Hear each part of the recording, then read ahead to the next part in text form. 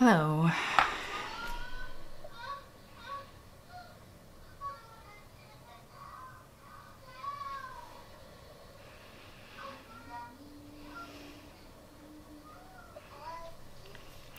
Hi everyone. I don't know if this is going to happen because everybody's freaking out all of a sudden. Children. Children are freaking out. So I bought some stuff from ColourPop. I haven't been buying much makeup, but uh, there were a lot of good sales and there were some new products out. And I always hope that one day I'm going to find a tinted moisturizer I can use that I like. So um, I decided to give the ColourPop one a try. I wanted to try their new concealer too because their matte concealer is like terrible, terrible on my skin. It's just too dry. And the ones I have are pretty old and they separate, so anyway, so they have this pretty fresh hyaluronic creamy concealer. So I'm hoping this wears better on my skin. Um, I got the Fair 2W shade in the pretty fresh hyaluronic acid tinted moisturizer and the shade Fair 05W in the concealer.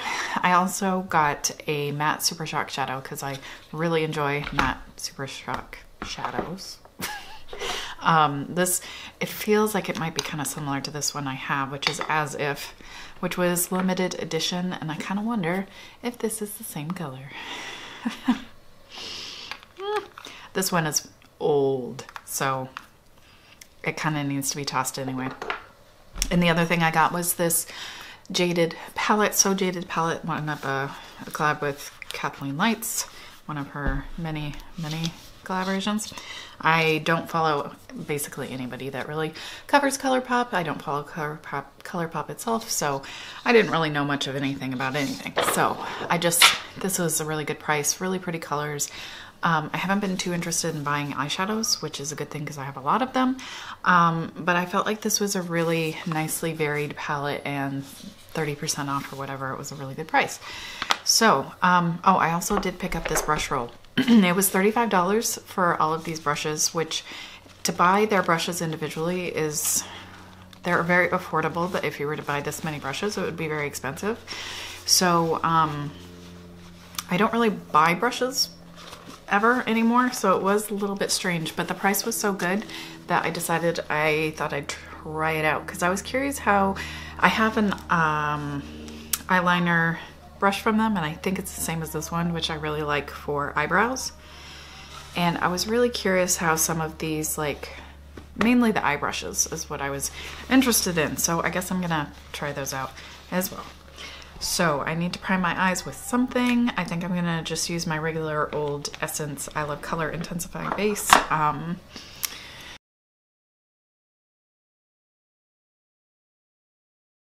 all right, I thought I'd just do some swatches because, you know, I know a lot of people would really like to see swatches of this.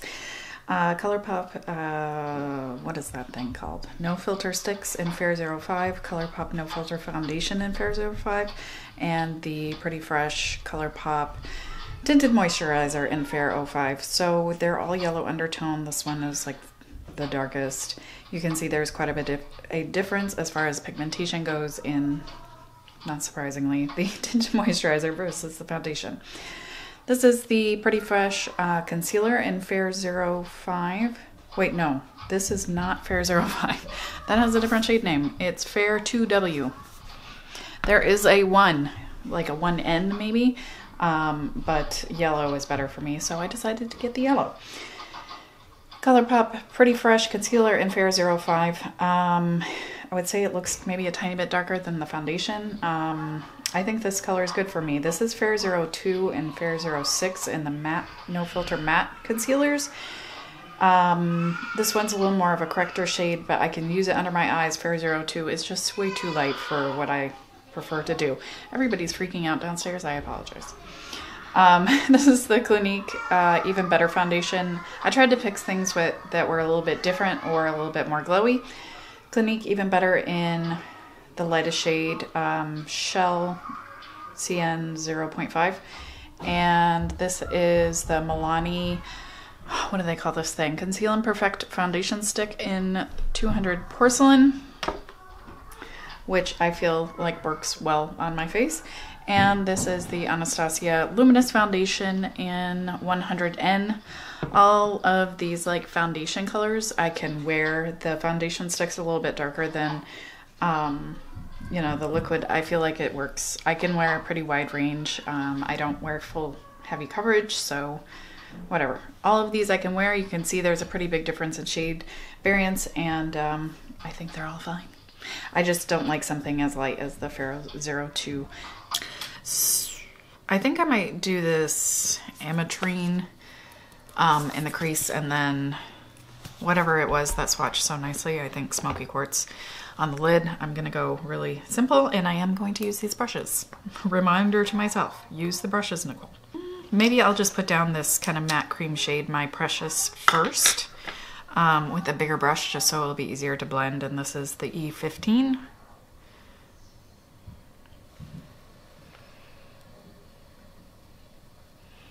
Just so it's not too tacky of a base. That is going to be a little bit darker than my skin tone, but that's okay. I'm just going to go over it with something else. I was hoping that they would have something shaped a little bit more like a 217, but I don't really see that kind of shape in this set. Um, you know, I have Sigma brushes that are really dupes for 217s, um, but I would like to have some synthetic ones without buying Sigma's new synthetic ones. It's just the 217 shape is just so versatile. All right, so that does kind of like drag a little the way some synthetic brushes do. I'm gonna go in with this E16 now and that ametrine. It looks like a matte with some glitter, and I'm assuming once I put that in my crease, you're not really gonna see a lot of glitter. It's just gonna show up like a matte. Since that's usually how those shades go.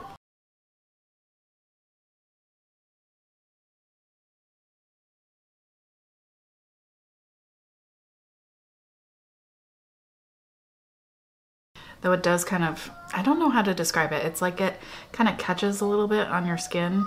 Uh, I've noticed a lot of synthetic, um, like fluffy brushes do this. Fluffy eye brushes. But it's still applying really nicely. It just feels like it's kind of skipping and dragging.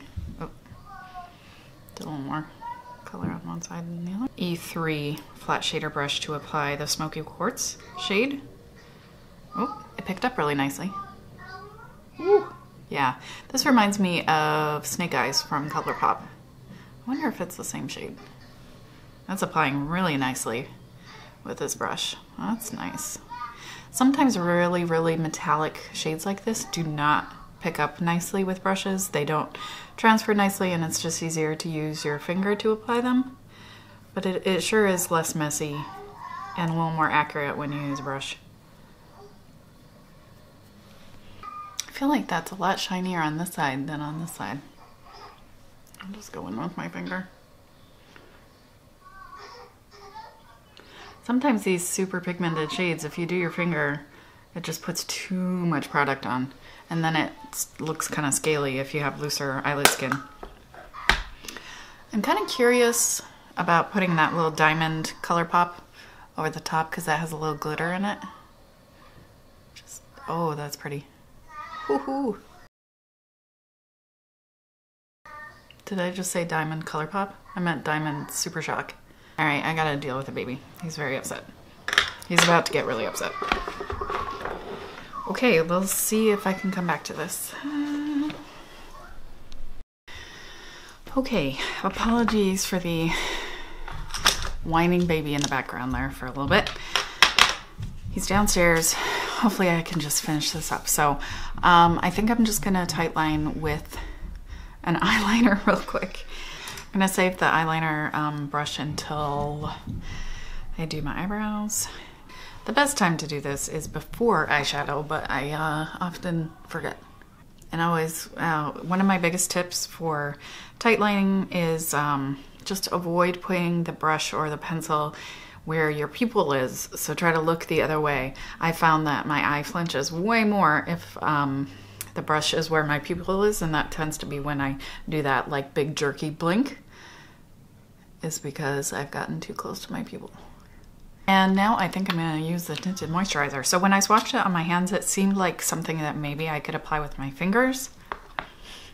Not many things work that well for me that way. I seem to swatch on my hand in a way that seemed, my hands tend to be really dry. So that can be kind of a good test of what might be usable by applying with fingers. But you never know because sometimes things just settle really weirdly when they get on the face.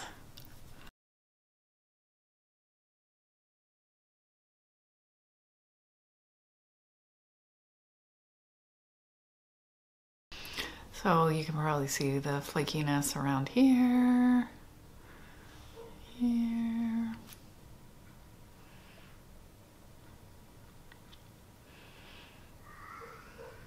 Like borderline cases where I'm right on the edge of just scrapping it and trying again with something more moisturizing underneath.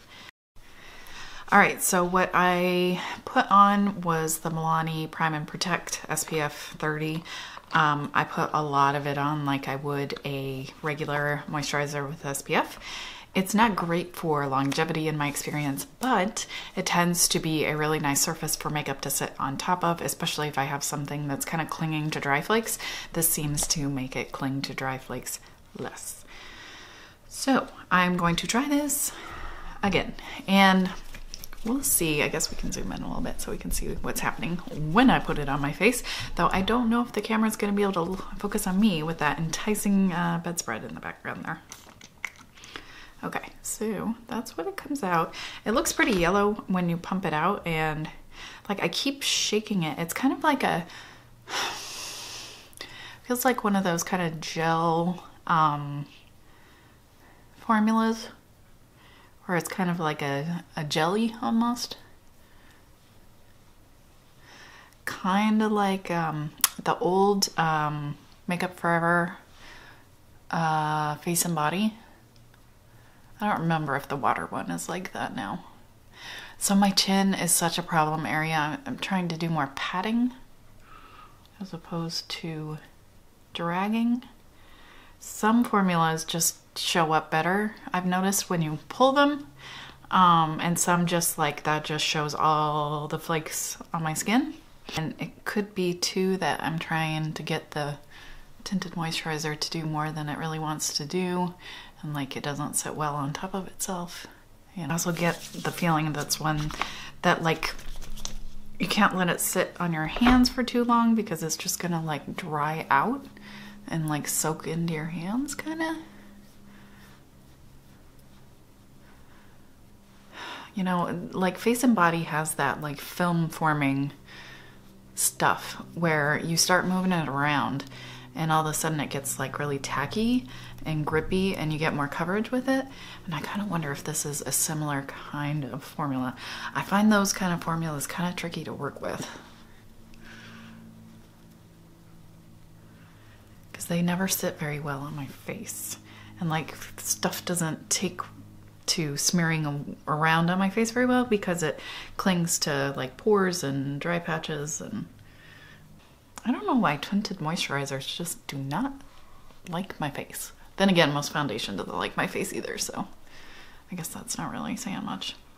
I'm pretty sticky, which I kind of expect, so I am gonna end up setting it and then it's gonna end up looking like a foundation anyway. But I'm gonna try to just let it sit for a little bit and see how it does. Um, I do have the concealer as well. So this I think is going to have a lot more coverage. So I'm going to try to go really sheer under my eyes. And the shade again is Fair 05W. I'm going to put a few dots. I did notice some kind of glittery fallout um, from probably the shadow, the pressed shadow that I put on, smoky quartz. Nothing terrible, just kind of some sparkly sparkly situation under the eyes there. My under eyes are pretty dry and um, tend to be kind of flaky, so I do have a hard time getting concealers to look very nice. So hopefully this is one that works a little bit better with my skin. And I might try a little bit of the concealer up on the um, blemish I've got up there just to see how it does. And a little bit more in the corners here where I never get products because it's like this deep cavern. It's like, how do you even get stuff up there without it ending up like in my eyeshadow?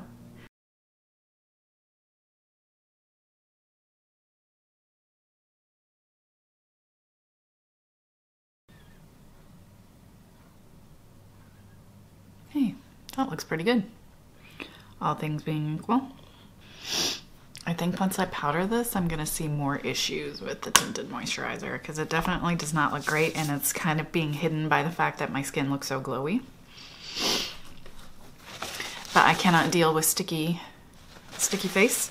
So, uh, you know, like I said, I'm gonna give it a few minutes, but if it does not set down, I'm setting it. I would love to not set my under eyes, but that seems extremely unlikely to be successful. So I am, I think I'm gonna put some of the Sonia Kashuk um, Chic Luminosity powder, which is long since discontinued, but uh, it is basically a dupe for the NARS Light Reflecting Setting Powder Pressed, which I also love. I just, I'm trying to use this up which, you know, I'm getting there. Just remembered I was going to use the ColourPop. What is this thing called? Brush. To do my um, dip brow eyebrows. So, E6, I think this is the one that I purchased, the same brush number, I think, that I purchased in the past that I do like for my eyebrows. Um, and it's in my little brush set that I keep downstairs. So we'll see how it goes. This is medium brown, I believe, in the Anastasia Dip Brow.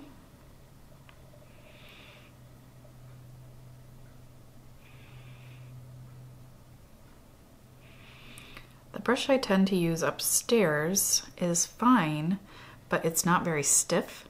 So I'm like constantly having to go in and trying to like load up the bristles and get them in a little pointy shape and um, it just gets out of shape from what I want for doing eyebrows really quickly.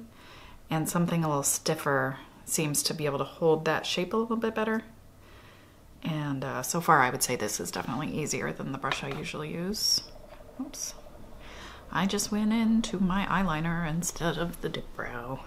But I feel like this is not keeping a very sharp shape, which is kind of a bummer but it's also less floppy than the other one. So I do, I do think this will be what I use upstairs now too. My fault for not loading up the brush again before going in here at the front, which is the only place I really try to get kind of thin, distinct um, brow strokes because I don't have a lot of brow hairs up in the front. So I'm trying to kind of fake some little brow hairs in that area a little bit more specifically. I should do a little bit of um, lower lash eyeshadow. Let me grab another brush from the set. And I'm just going to, I think, do that kind of purpley shade on my lower lashes, or lower lash line that I did in the crease. And maybe I'll try this little wee one. It's kind of like a MAC, what I don't remember which one. I have a little itty bitty MAC one that um, Nikkie Tutorials used to use a lot. Kind of reminds me of that, but less dense, less brush hairs. It's an E20. Just hurry up, Nicole. Seriously, are you are you focusing on the bed back there? Come on, come on, work with me here. Camera. Who do you think paid for you? It was not the bed. It was me.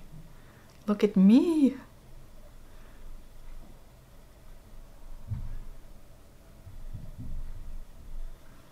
Yeah, I kind of need to clean up the edges over there. I feel like this is transferring really nicely. Oh, brush in the eyeball, not great. Softer than that MAC brush, which I always found a little pokey for trying to blend. Hmm, getting some minor creasing up there. I'm gonna use this E17 and I guess the that same shade just to try to soften up the edges maybe. This probably was not a great choice. I should have just gone in with this brush bare, but so it goes.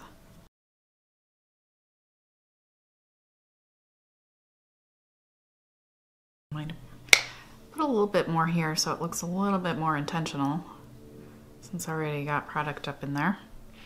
And I have a lot of like blue purpley tones from veins and whatnot in there. I'm gonna do mascara. This is the Milani Highly Rated Mascara. It came in this set from Target. Uh, this was $15, I believe. And I got a discount on it, so it ended up being quite a good deal. Because um, that's a lot of tubes of mascara. Not all of them are full size, but I think several of them were. So I felt like it was a good value. Under lower lash line, CoverGirl Clump Crusher, water resistant per usual. We really don't need to watch this. This is, uh, I think, long discontinued. It's a Stila uh, Aqua Glow Watercolor Blush in Rose Water. If you happen to see one, they are lovely, lovely. Kind of weird, but beautiful blushes. Kind of weird because they have like this little net and whatever. They're very liquidy. Um, you have to shake them up a bunch, but they're so pretty. I guess I could use a loose powder and the gigantic fluffy brush that came in this set. I mean, gigantic. Um, I use uh, these Guerlain meteorites that I crushed up. Not very well. There's still some pretty big chunks in there. The thing I like about the Guerlain is that there's a fair amount of shimmer in it.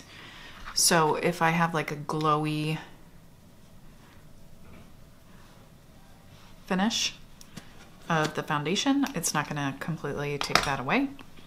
Oh my God, that brush is so huge. Okay, my little battery light is blinking. So I think I'm going to finish this up for right now. Maybe I'll try to get some swatches in a minute. Um, I'm just going to use a tinted balm. This is the Fresh Sugar uh, Tinted Balm in Honey. Yes. Because this is a fairly natural color for me. If I don't put too much on. Think I can get a thumbnail before I run out of power.